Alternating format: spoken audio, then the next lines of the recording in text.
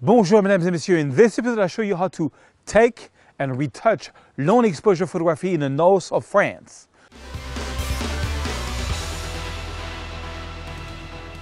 Bonjour, mesdames et messieurs. My name is Serge Ramelli. I am a French photographer living in the beautiful city of Paris and Los Angeles, California. Right now, I'm traveling through Europe. I was in Normandy, now I'm in Switzerland. And while I was in Normandy, uh, actually above Normandy in Somme in Quend, I did some long exposure photography that I want to show you. Please subscribe to my YouTube channel by clicking here. And if you want to get the raw file for this episode, all you have to do is subscribe on my website, put in your email address, and you're good to go. All you have to do then is go back to this video on YouTube, and there is a link under the description of this video. If you're logged in, you will get the raw files right away, and there's some really nice ones in this episode. Let's go to Quend Plage, and let's do some long exposure photography in the mussel fields.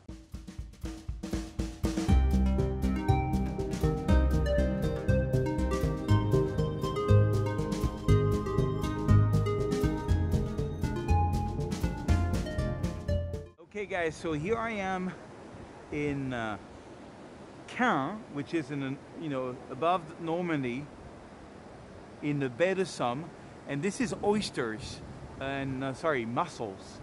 And I want to try to do like a long exposure with it. And right now I'm going to put an ND1000 filter. I'm going to try to go uh, 50 ISO, about 20 seconds and see what it gives me. But the thing is, it's all about the framing.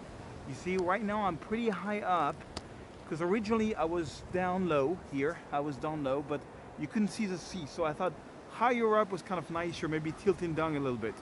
But what I'm going to try to do is I'm going to try to go in there and find other framings. You know, maybe play around. I'm going to protect my tripod with plastic bags so I can go in the salty sea and maybe walk around and find some cool long exposures uh, here. You know, it's all about having the right leading lines and having also the effect of the contrast of the water. So I might, you know, actually, I might actually go here between these two ones in the water. Right now my feet are in the water. I'm bare, bare feet. And uh, take this shot here like this and protect my tripod with plastic bags. I think I'm going to try that.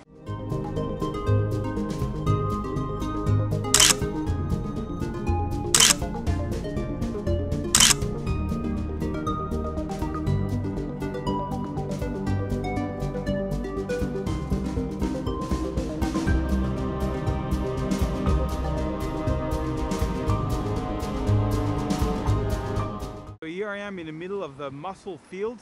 You see I put some plastic bag over my tripod and I'm trying to find the right framing. So I got really straight in the middle.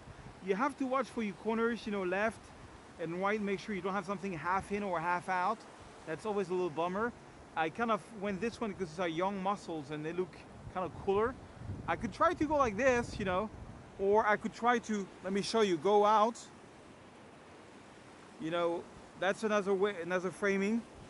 But it's always important to have something in the foreground.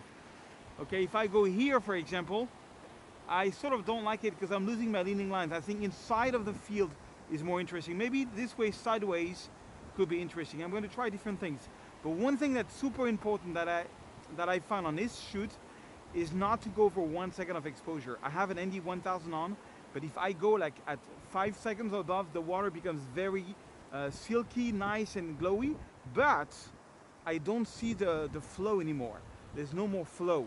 So if you want to see the flow, I'll show you the difference between five seconds and one second of exposure. Uh, but it's a whole different photo. There's a lot more leading lines in the one second exposure. So let's take a few shots.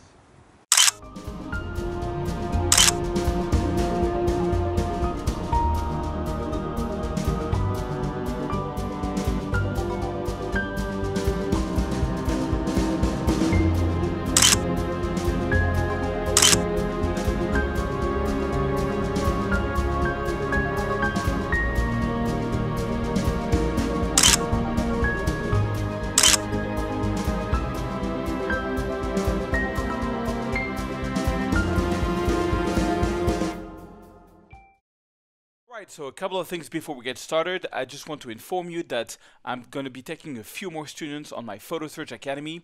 Uh, that is, I'm going to give you 46 assignments where I'm going to be coaching on each one of them until you pass. And once you've finished, you get a graduate from the Photo Serge Masterclass. This whole training, this whole coaching is based on my Landscape Masterclass, which I will show you a full presentation at the end of this tutorial. Also, if you just want to support this uh, podcast, if you have anything you want to buy from B&H, try our photography deals from B&H. If you click on this banner and you buy anything from B&H, we get a small commission. It helps me do all the free stuff that I do. Last but not least, if you want, if you don't have Lightroom and Photoshop, you can get 20% off, and that's only for new members who never had Lightroom and Photoshop. You can get it by clicking here. It's gonna be like, uh, you know, seven or eight dollars per month. You get all of Lightroom and Photoshop, which is pretty cool. All right, so let's go and look at the photos we got from this nice walk in the Mussel Field in Quend. Quend is in the Baie de Somme, which is right above Normandy, really the north of France, and uh, it was my first time there and I've always wondered. I've seen photos from the uh, you know the mussel field, which I really liked. But let's talk technical here a little bit. So this is the first shot that I got. I shot this one at 15 second at f20 ISO 100 with my ND uh, 1000 on. Now you have to realize it was in the afternoon. There was a lot of sun. It was very bright. That's why you know I had to put it in the, in the 1000 and I had to go the whole way to f20 to get a 15 second exposure. Now uh, I didn't. I don't like that photo so much because we don't see uh, the you know everything is all the the mussel field is stacked up on on each other. So I went a little higher up here, which I kind of like more the composition because now we can see them all of them. But 15 second of exposure, the water is completely transparent. You know there is no leading lines coming from it. So you know I tried a few things. Uh, now this was a video. I did a lot of video to show you. And this is another one I went a little wider. I don't like this one because uh, there is uh, this as a foreground element. This is an 8 second. You see 8 second we start seeing some of the wave starts to be a little bit wide, white. Okay, then I continue. This one I went down to 8 second but it's blurry because the wave just hit my tripod. Uh, if you've seen the video, I put some garbage uh, bag around my tripod because I didn't want the salt to eat up the tripod too much. It's a brand new Gitzo tripod that I just bought for $800. I didn't want to ruin it with uh, sea salt. Uh, so that's, but you know, I just waited a little bit and that's another 8 second exposure. I like this one, it's a little crooked, but we start seeing the lines. You see, um, it's not needed to go too long of an exposure on, on, on this one. So what I did on this is, yeah, 8 second that was kind of cool. Then I went to uh, 1.6 seconds. So to go to 1.6 second, I had to go down from f20 to f9, and then 1.6 second. And now I like it. F 1.6 second, I see that I, uh, you know, I have uh, some leading lines here coming from the wave. So I'm going to give it two star. I'm going to rate it two. This one, I went back to five seconds. You see the difference? This is 1.6 second. We can see some you know lines coming from the uh, from the wave and then five seconds we don't see them anymore you know so I'm not going to select this one. This one uh, 1.3 second. I love I love the lines there so I'm going to give it a two star. Okay and then let's carry on. This one uh, 1.3 second but the wave was not coming so there was no details there. Uh, this one is 1.3 second. Not so much uh, you know not, the wave was not coming also and also one thing I, I, I, did is that I had my self timer on. So every time I would press, it would wait one, two second and then take the shot. So sometimes it was, it was hard for me to get the wave to come in at the right moment to get this little leading lines. That's why some of them don't have it. Because the two seconds kind of threw me off. Oh, this one's interesting. 1.3 second, 6.3. I had I had to go down to 6.3 because of the light uh, to go to 1.3 seconds. Still with the ND 1000 on. Okay, and then this one, uh, so I'm going to give it 2, and then uh, this one, I'm going to give it a 2 also. So let's first look at this one, because now I go into the, uh, uh it's a different, uh, you know, different frame, different subject. It's the a different way of presenting the mussel. So I'm going to press 2, and let's see. So what did I select? I've got these four photos here. I'm going to select all four photos. I'm going to press N, and I'm going to go full screen. And let's see which one am I going to retouch. They're all very similar. And uh, I like to use a survey mode. The survey mode is you select several photos and you press N. I think I'm going to take this one out because this one is a little dark. Plus it's a little crooked. I don't know. This one, I'm going to take it out. I've got three left. Uh, which one I think I'm going to take out. This one I'm, I'm, I'm more closer. I think it's nicer because this foreground is a little... So I think I'm going to take this one. I'm going to press 3.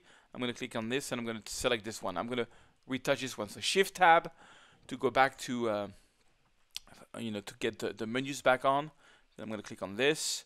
I'm going to go to the develop module. I'm going to make uh, I'm going to make this smaller.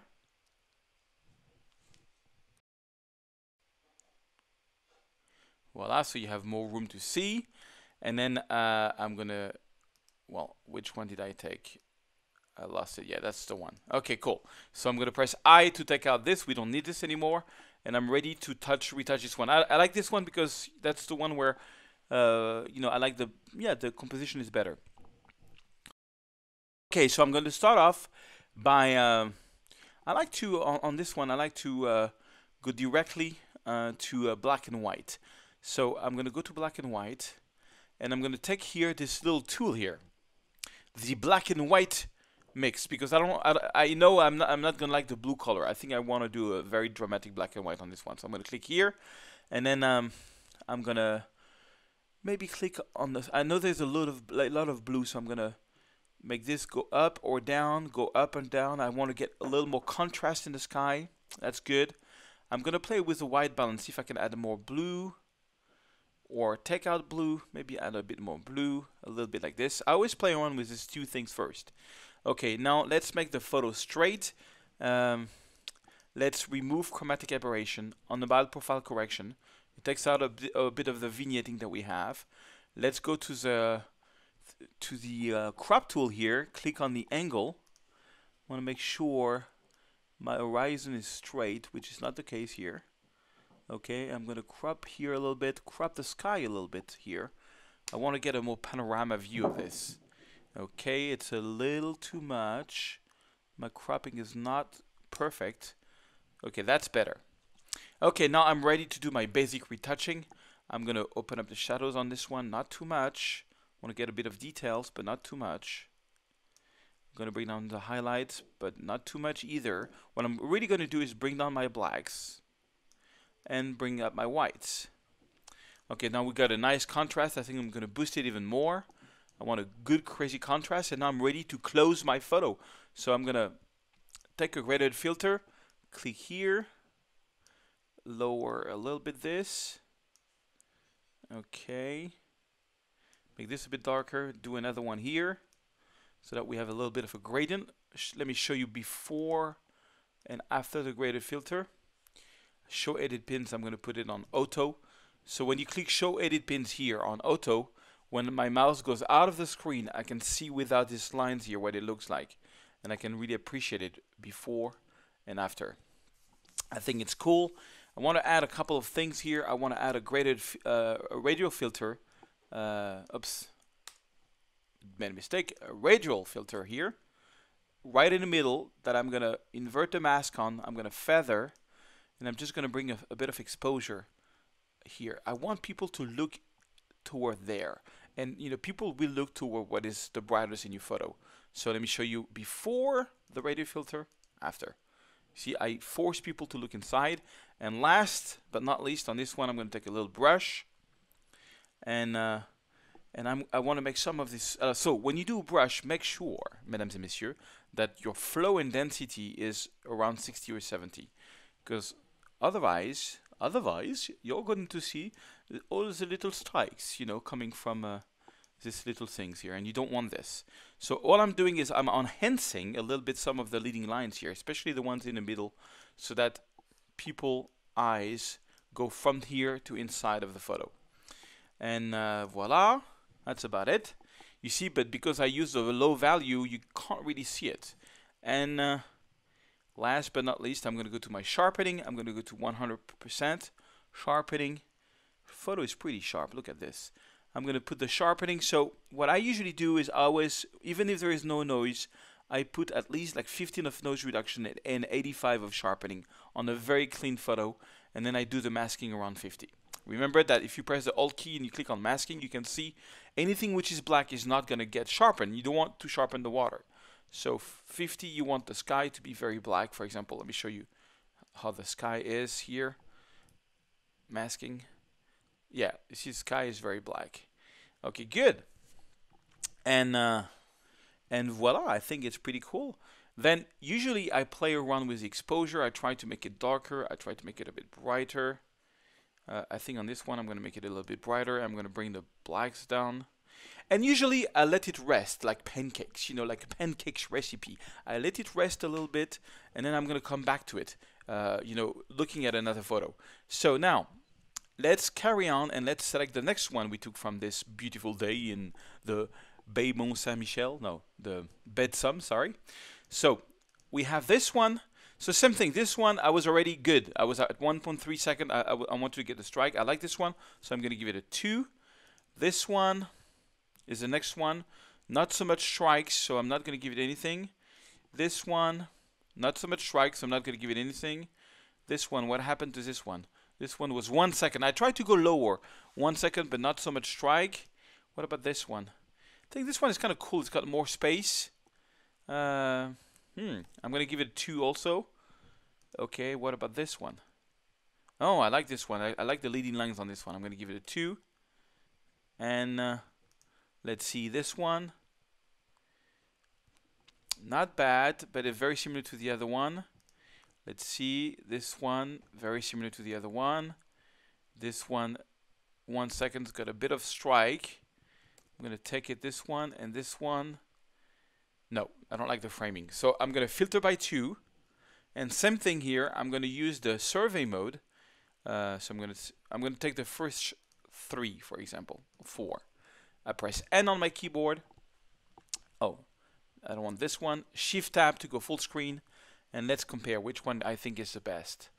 Uh, I like this one the best. So I'm going to give it a three. And then I'm going to press Shift tab to go back here. And then I'm going to select the next well, I'm just going to look at the last one actually because there's only one last one. And then I'm going to compare it with the other one that I selected 3. So I'm selecting both of this one now and pressing N. Which one do I like the most? Uh, this one has more strike, but somehow this composition seems to be more balanced. Seems to have more depths. So I'm going to go on this one. I'm going to go on this one. Okay. And one thing you can do is you, I can take what I did here because it's a very similar, you know, lighting setup. So press Command Shift C, and then I can copy everything that I did except the brush uh, and the radial filter. Even the radial filter I can leave on, but just the brush and the, the cropping. I don't want that. But all the rest, why not? Let's take it. So, you know, all the basic tones are already done. Uh, you know, the noise reduction is already done. Lens correction is already done. Voila, the whole shabam. Okay, and then uh, I'm going to go on this one, which is one I selected. Press Command uh, Command V, and to copy what I just did here. Okay, it doesn't work. So Command Command Shift C. Oh no, it's Command Shift C. Sorry, I make that mistake all the time. And Command Sh no, and Command V, and Command Shift V. Sorry, Command Shift V did the trick. And so I've already have a starting point, which is pretty cool. I I'm already enjoying the photo. I'm going to lower this again so you can see better. I'm right now traveling, and so I'm doing everything on a small screen, which is a little annoying. Okay, so this one I'm going to take I to get this out. I'm going to take the spot removal tool because there's a little spot here that really annoys me. It screams to be taken out. Okay, let's revise our graded filter. Graded filter number one is here. Maybe make it a little higher up. This one is a little low, so I'm going to make it this like this. And, you know, I'm a lazy guy, so I like to take, you know, what I did before and, you know, just take it and play around with it. I know that my sharpening is done. I know that the only thing I'm really missing here, let's play around with the, the radiate filter, is the uh, strikes from the brush. That's the only thing I didn't do. So, voila. And I'm going to take the brush here and I'm gonna add some more strikes here remember the brush I have a very low value I'm just trying to bring a little bit more details you know in my uh, in the water that's coming up here and one thing you can do is also bring a little bit more details you can click create a new brush and bring a little more details by opening up the shadows and adding exposure on the mussel thing here the mussel field uh, poteau I have no idea how you say it in French, uh, in English. You know, just bring a little bit more life to here. Okay, something like that. Let me show you the, uh, before the brush, after the brush. Okay, so I like that one too. I like this one, cool. So this one is good. I'm going to give it a four star now. Okay, and uh, the last one I wanted to show you from that trip that I really like is the one, and that's something I didn't expect to do, but you know, when you do photography, you don't expect. So we were walking through the the mussel field, and we came to this truck here, and this truck. Uh, so I got closer and closer, but again, uh, you know, playing around with a one second exposure, and so I, you know, I liked the flow like this, and I thought, oh, he's a little too small, so I got a little closer, and I got a little closer, and I think, yeah, which photo do I like the most between these two? I think this one is even more cool, this one. Okay, and you know what? On this one, I'm to do something. I'm to do a selective color. Uh, for me, it screams selective color. Uh, you will see what I mean is I'm going to retouch it a bit different. What I'm going to do is I'm going to go to my saturation slider here. And I'm going to take out all the colors but the green and the yellow. So red, I'm going to take out. Orange, I'm going to take out. Uh, yellow, I'm going to boost yellow. Green, I'm going to boost green. Aqua, I'm going to take out. Blue, I'm going to take out. Purple, I'm going to take out. Magenta, I'm going to take out. So now everything is kind of black and white except the green and the yellow. But the problem is that you have a little bit of green and orange in the water and in the sky. So you want to get rid of that. But so first, the first thing I'm going to do is I'm going to do my basic retouching. I'm going to open up the shadow a little bit, bring down a little bit the highlights. I'm going to do my black. I'm going to do my white. Uh, I want to bring contrast to this baby. Okay, but I really want everything to be black and white, but this, you see, there's still some greens here. So I'm going to take a brush. I'm going to go to saturation and I'm going to go saturation minus 100 and this time exceptionally I'm going to put my flow and density the whole way to 100 because I really want to desaturate and I'm just going to take out all the colors that's still left in the water out. I only and here in the mussel field I only want even in the sky if there is any I only want it in the greens here okay so it's pretty simple, straightforward to do a selective color. I know some people find this cheesy. Personally, I love it. I know it's cheesy. I know it's whatever you want. I personally love to express myself as an artist with this type of things. Okay, let's do a little bit of cropping because I think it is not very good. Huh? I don't know what you think, but uh, I want to do something like this. Boom. You know, let's go a little more cinematic on it. Okay. All right, so we're really in the track. And then I'm going to give you, I'm going to make this graded filter. I'm going to go back to exposure. So remember, when you select any of these tools here and you take this menu and you take something, the good thing is, is that it's going to make everything come to zero except what you want to play around. In this case, I want to play with the exposure. I want to close the photo. Might add another one here. I might add another one here, you know, to really close the photo on the gentleman here, on the truck, on the big truck something like this. So I'm closing here, here, like I'm closing everywhere. I mean, I could use a radial filter to do this, but I don't know. Actually, you know what? Let's try that. Let's try to use a radial filter to do it. I'm going to delete that. Actually, the first time. So another trick, and that's actually why Adobe created the radial filter to start with. I always use it differently, is that you make one on the track, like this. Okay, and I'm sorry. You make one on the track like this, and by default, well, saturation, yeah, why not? No, I don't want saturation. What I want is, I want lower the exposure of everything. You see, and I'm going to feather it, and I'm going to make it bigger, and bigger, and bigger. So it makes everything brighter, but what's inside here. And now what I want to do is I'm going to click duplicate. So now I've got this twice, but I'm going to do the reverse. On the one that's duplicate, I'm going to go the, the other way and I'm going to click invert mask and feather. This one I have one radial filter that's making some of the track brighter and one radial filter that's making everything around the track darker. So this one is making everything darker, uh, everything brighter just inside here. Actually, you know what? I'm going to do a selective one. I'm just going to add a bit of light on this one. Then I'm going to right click and duplicate. I'm gonna maybe add a bit of brightness, not so much, on that wheel here. Right click, duplicate, and maybe here, just to break the tones. I call this breaking the tones, so that there, you know, there is a more complex light. Okay, now check this out. Before the radial circle, after. You see how I made everything darker? Okay, now I'm ready to do my last thing, which is the brush. I'm going to take the brush here. And uh, same thing, I'm going to go to exposure. This time I'm going to make sure my flow intensity is, remember, around 65, you know, 70, something like this. Okay, and now I'm to make this, I'm to play around with this, maybe with a little bit more, more power. Needs a bit more power. Okay, I want to make this like this enhance this, you know, makes some of this texture here, which is really interesting, uh, stronger. Make this a little stronger, you know, something like that. And uh, I think it's a pretty cool photo for truck. I can sell this to this truck company. Probably will love it. Okay, I'm going to put a four star on this one. And voila, I'm done. Uh, uh, and I was happy, you know, a little trip, uh, you know, in the mussel fields. And uh, this is what I got, you know. I went to the mussel field and all I got was this lousy four photos. All right, so I'm gonna do this, boom.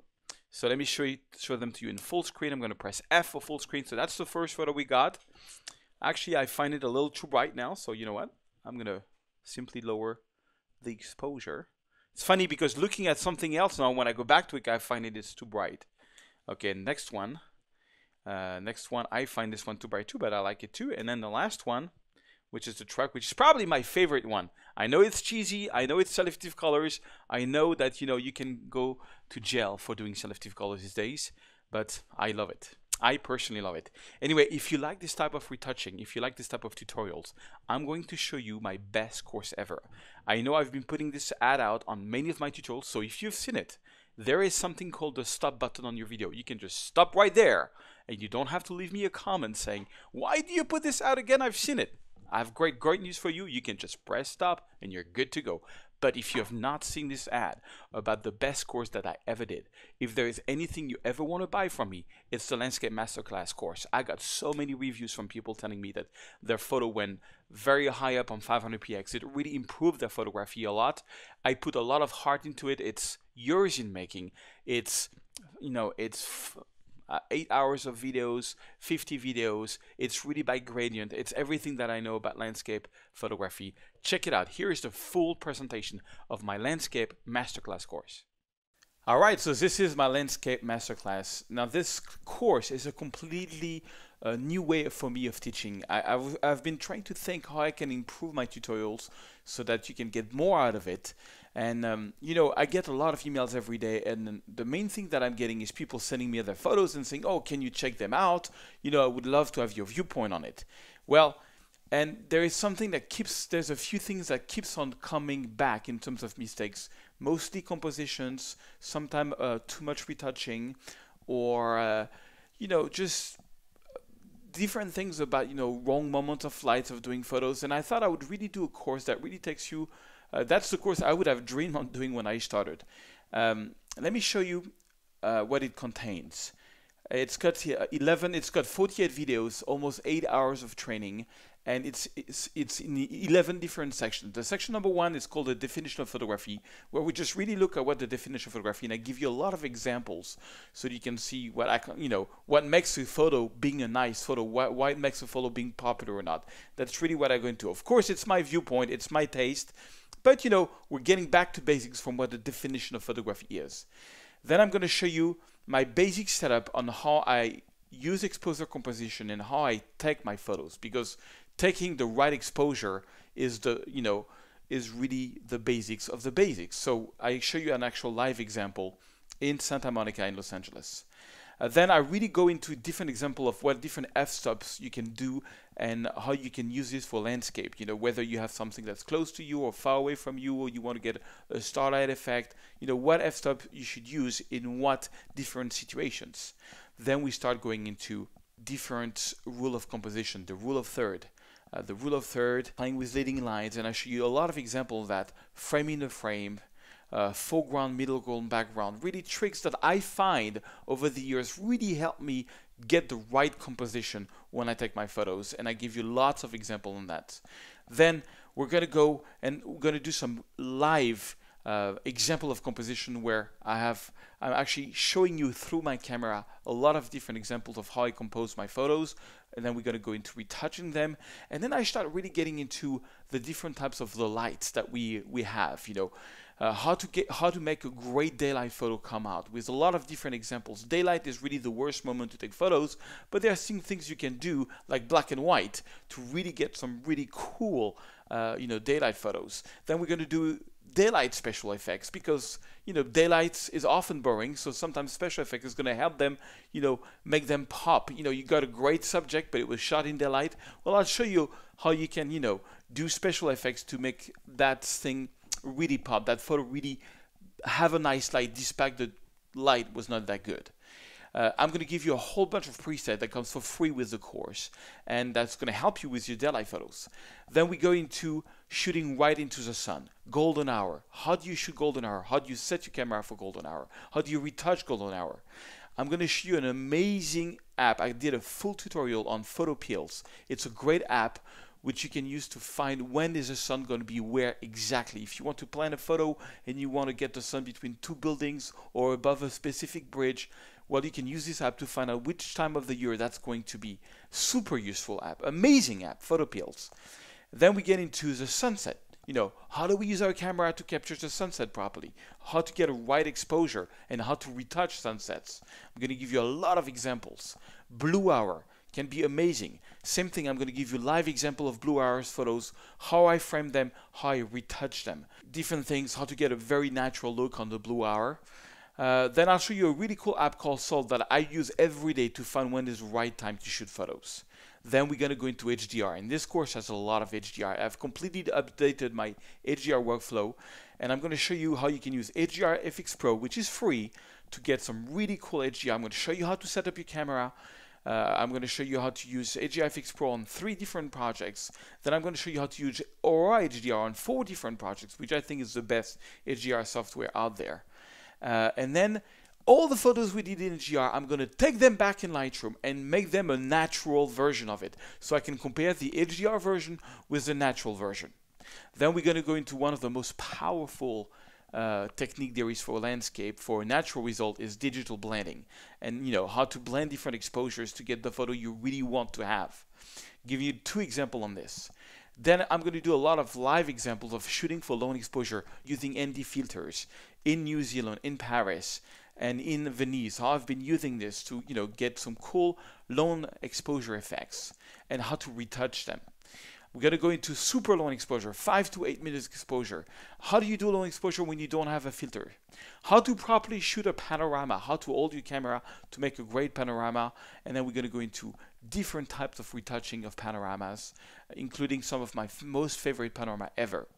Then I'm going to show you a whole workflow on how to do astrophotography, how and where to find the Milky Way exactly, how to do your camera settings, and then we're going to do different astrophotography projects together shooting the Milky Way. All this, of course, comes as usual with source files, but the big new thing about this course is that I have a checklist. What the checklist is going to give you is two things. It's going to give you a sequence of study. How do you go from easier to more complex projects, but also it's going to give you assignments. I'm going to ask you to go, okay, now you learn about long exposure. Go do a long, a 5 second long exposure, a 20 second, a 30 second using an ND filter, uh, a variable ND filter, a fixed ND filter. And then I'm going to ask you to post your photos on Instagram with a specific hashtag so that I can see your progress and how you're applying the videos and how you're learning. But also so that you can look for these hashtags and see how everybody else is doing, you know, and, and doing their long exposure and doing the HDR. So you can check for the hashtags and see what other students are doing. Also, and that's not out yet, but next month I will be taking under my wing 20 to 25 photographers using this course uh, on a special one-to-one project where I will ask you to send me the photos you've been taking as part of this course and I will coach you on them, tell you if you made it or not, and at the end you can graduate from it. For now, this will be limited to 20 to 25 photographers. And I'm going to talk about this next month. If you're interested, you can always send me an email on, on my website. Uh, and there is already a waiting list for that because it's only limited to 20 to 25 photographers on the planet for now. Where I really want to coach you through this course and at the end you're going to get an actual diploma where you graduated from the landscape masterclass. And once you graduate from the landscape masterclass you can come to a special facebook group where i will be doing career coaching every week with a different photographer and you can see how i coach them because i will be recording the videos. But this will be only for the people who graduated this, this course. So stay tuned for that. That's not out yet uh, but the course is out. You can purchase it and you can start getting into it. And you know i really think i did the best course I ever did because I give really a lot of example from shooting to retouching uh, on gradients, you know, from easy project to harder and harder and harder. This is all I know, guys. This is all I've learned in 12 years. Uh, my work is in 85 galleries around the world. I've done two fine arts books. I'm doing a third one now. There are pretty bestsellers around the planet. And I'm not, I'm not saying this to show off. I'm just saying this. I've had the success with this. I've seen over the years things that I work and things that don't. Well, I'm going to share you all my secrets, all the things that works. I'm really excited about this course. If there's only one course you ever want to buy from me, it's this one, the Landscape Masterclass. All right, guys, see you in one of my training video.